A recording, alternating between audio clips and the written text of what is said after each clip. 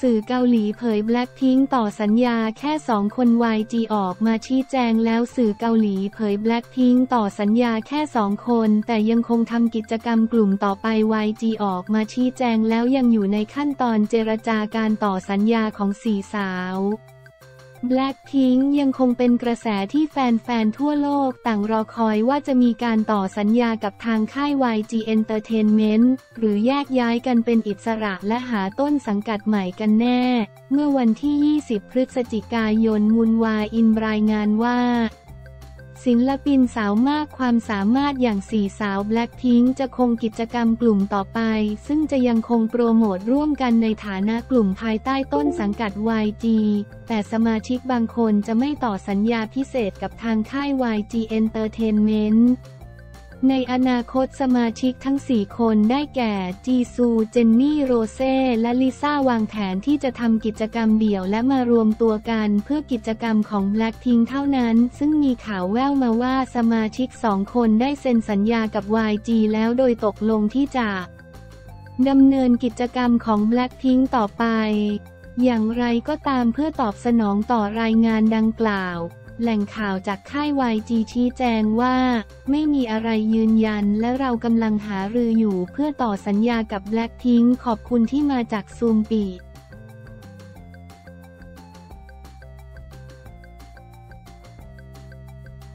ปังปอนอัครวุฒิสุดปัง ว้าแชมป์แรกโตโยต้ากาซูเรซซิ่ง สนามเชียงใหม่ปังปอน อัครวุฒิพิสูจน์ฝีมือคว้าแชมป์อันดับหนึ่งในรุ่นยาริสวันเมเกรส รางวัลสูงสุดในชีวิตบนเส้นทางนักแข่ง เหมือนได้ปลดล็อกเป็นปีแห่งความสำเร็จสุดๆ บนเส้นทางนักแข่งรถเลยสำหรับปังปอนอัครวุฒินักแข่งสังกัด Toyota Gazoo Racing Star Team ล่าสุดในการแข่งขันรถยนต์ Toyota One Make Race รายการ Toyota Gazoo Racing Motorsport 2023 สนามที่ 4 จังหวัดเชียงใหม่ ปังปอนก็พิสูจน์ฝีมือให้ประจักษ์หลังขับเคี่ยวกับเหล่านักแข่งในรุ่นไปแบบสุดเดือดก่อนคว้าถ้วยแชมป์อันดับหนึ่งในรุ่นยาริสวันเมเกรส ไปได้สำเร็จเป็นโพเดียมรางวัลสูงสุดในชีวิตของการเป็นนักแข่งรถตลอด 3 ปี ของปังปอนไปเรียบร้อยแล้ว โดยปังปอนออกสตาร์ทในหัวแถวของรุ่นยาริสวันเมเกรส โดยมีกลุ่มผู้ตามฝีมือสุดจี๊ดอย่าง หนุ่มโรเตอร์ทองเจือไล่บี้ตามหลังและขบวนกลุ่มผู้ตามอีกหลายสิบคัน ก่อน speed ทิ้งห่างคันอื่นๆ ขึ้นมาเป็นคู่หน้าดวลฝีมือเบียดกันโค้งแล้วโค้งเล่าก่อนสุดท้าย ปังปอนอาศัยฝีมือและความเก๋ามากกว่าเข้าธงหมากรุกไปก่อน คว้าถ้วยแชมป์อันดับหนึ่งในรุ่น Yaris One Make Race ประจำสนามเชียงใหม่ไปครอง โดยหลังจบการแข่งขันปังปอนเผยว่า ผมมีความสุขมาก ๆ ครับ ถ้วยนี้เป็นรางวัลสูงสุดในชีวิตการเป็นนักแข่งรถของผมแล้วครับ เหมือนได้ปลดล็อกให้ตัวเอง ที่ผ่านมาตั้งแต่วันแรกที่เข้ามาสู่เส้นทางการเป็นนักแข่งรถ ผมพูดเสมอว่าอยากทำให้ดีที่สุด ปีนี้ตั้งใจเต็มร้อยผลแข่งก็ดีขึ้นเรื่อยๆ จนสนามนี้ผมก็ทำได้คว้าถ้วยแชมป์ของรุ่นมาได้สำเร็จ ผมขอขอบคุณโอกาสจากบอโตโยต้า และผู้สนับสนุนทุกท่านอาจารย์ที่สอนขับรถแข่งรวมถึงทีมงานทีมช่างทุกคน และแฟนๆที่ติดตามทุกคนขอบคุณจริง ๆ ครับ ด้านมิย่าทองเจือที่ลงแข่งขันในรุ่น Yaris Ativ Lady One Make Race จบการแข่งขันสนามนี้ไปด้วยอันดับ 9 สำหรับแฟน ๆ ของปังปอน อัครวุฒิและมิย่าทองเจือ ร่วมส่งพลังใจชม และเชียร์ให้สองนักแข่งดาราสู้กันต่อในสนามสุดท้ายของการแข่งขัน Toyota Gazoo Racing Motorsport 2023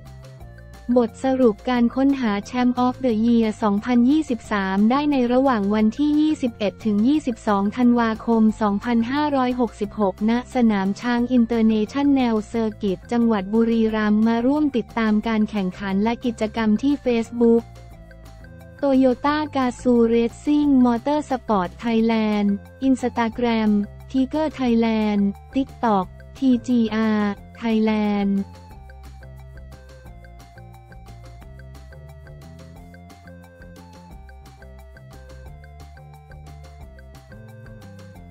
เจนนี่รัชนกมีเดือดเจอคนอ้างเป็นเมียน้อยสามีหนุ่ม งานนี้มีร้องไห้จบด้วยอะไร ถ้าเป็นเมียน้อยจริงจะฟ้องให้แหลก เจนนี่รัชนกมีเดือดเจอคนอ้างเป็นเมียน้อยยิวฉัดมงคล สามีหนุ่มงานนี้มีร้องไห้ จบด้วยอะไรโซเชียลมีการแชร์ไลฟ์สดตอนหนึ่งของ เจนนี่รัชนกหรือเจนนี่ได้หมดท่าสดชื่น ขณะไลฟ์ขายของอยู่กับยิวฉัดมงคลสามีหนุ่ม โดยเจนนี่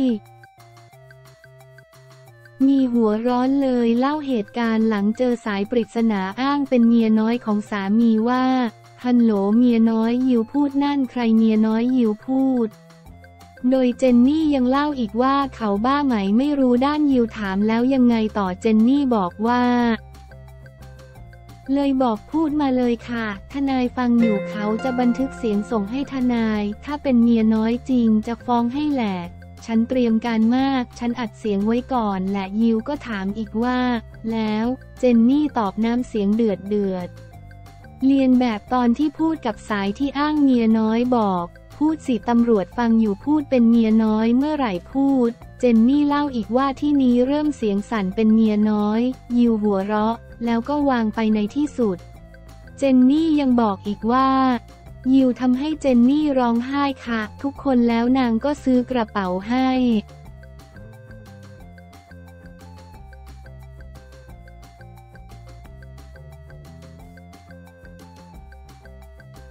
นายกรัฐมนตรีจ่อคุยเอกชน ขยายขึ้นสายสีชมพู ฟรีถึงปีใหม่ปลื้มโครงสร้างพื้นฐานดีขึ้น นายกรัฐมนตรีปลื้มโครงสร้างพื้นฐานไทยพัฒนาไกล ชี้เป็นประโยชน์ นักท่องเที่ยวได้อานิสงส์ดึงลงทุนเข้าไทยขอบคุณ คีรี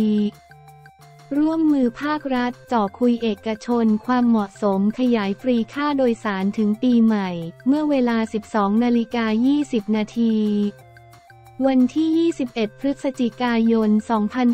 2566 ที่รถไฟฟ้ามหานครสายสีชมพู สถานีวัดพระศรีมหาธาตุ TK16 นายเศรษฐาทวีสิงห์นายกรัฐมนตรีและรัฐมนตรีว่าการกระทรวงคลังให้สัมภาษณ์หลังร่วมทดสอบการเดินรถเสมือนจริง